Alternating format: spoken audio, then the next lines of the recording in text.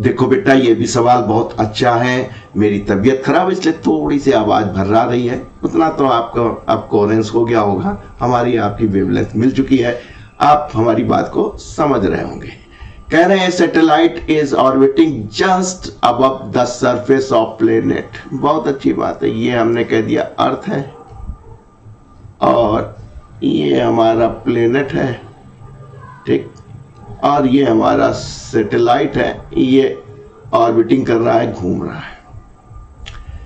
Average density D रखी है और टाइम पीरियड टी लिया है। यूनिवर्सल तो होगा। अगर आपने कहा कि सर हम मान लेते हैं कि जो रेडियस है, उस प्लेनेट के मास और उस सैटेलाइट के बीच के दूरी वो आर है।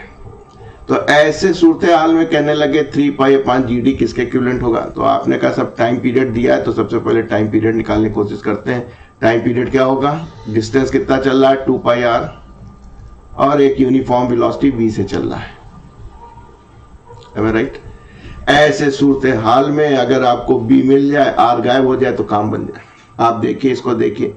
यहाँ ग्रेविटेशनल अट्रैक्शन लगेगा और जब बी वेलोसिटी से कोई मास घूम रहा है सर्कुलर मोशन कर रहा है तो क्या हो जाएगा? M B square upon R एक साइंटिफिकल फोर्स भी लगेगा। तो इधर जो ग्रेविटेशनल फोर्स लग रहा है, उसी को साइंटिफिकल फोर्स मैनेज कर रहा है। तभी दो इक्वल एंड अपोजिट होते हैं, इसीलिए बैलेंस चलता है। तो ग्रेविटेशनल फोर्स तो ये हो गया आपका, बीच की दूरी का स्क्वायर और इस फोर्स को कौन कर रहा है? केवल यही लगता तो यहाँ घुस जाता।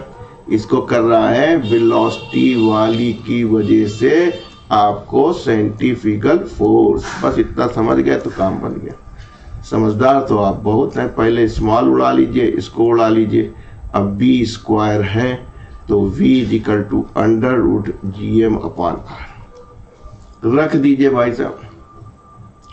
टू पाई आर और वेलोसिटी हो गई under root g m upon r काम बन नहीं रहा है क्योंकि आपको जी और डी चाहिए डेंसिटी चाहिए, यानी मास गायब करना है तो सबसे पहले आप होल स्क्वायर करके कुछ तो अपने जीवन को आसान करें। ऊपर स्क्वायर हो गया g m upon r under खत्म हो गया। ये ऊपर चला गया बेटा। Two pi four pi square r ऊपर जाके क्यू बना बेटा। अपॉन जी एम डेंसिटी आपको दी गई है।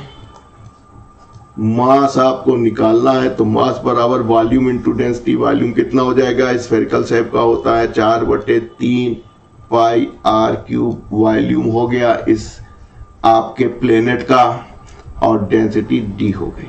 अब देखिए, ये ये कट गया बेटा। इससे ये कट गया फोर से फोर कट गया, तीन ऊपर चला गया। तो ऊपर बचा तीन और पाई आ गया और नीचे बचा जी इंटू डी यही आप चाहते थे, आप जानना चाह रहे three pi g into d किसके बराबर है? साफ़ साफ़ दिख रहा है टी स्क्वायर के। है कोई? हाँ second is the best option